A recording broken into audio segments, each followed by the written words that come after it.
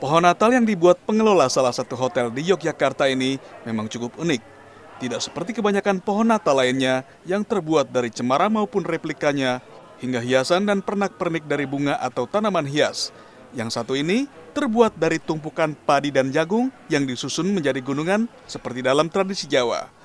Yang juga menarik, di sebelah pohon Natal itu juga ada sebuah balai atau gubuk yang dibuat dari bambu dengan atap janur serta ditingkahi dengan buah kelapa pisang, kacang-kacangan, dan sejumlah peralatan khas perdesaan, seperti caping, gentong air, hingga sepeda kuno.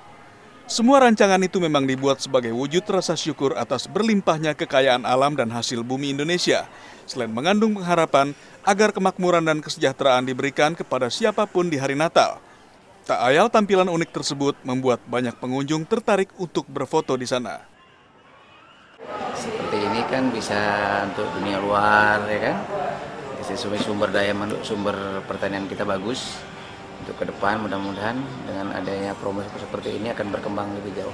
Semuanya kami tampilkan di sini sebagai hasil bumi dari Indonesia dan ini adalah konsep atau tema yang kita ambil sebagai bentuk dari uh, gemah ripah loh jinawi alam Indonesia.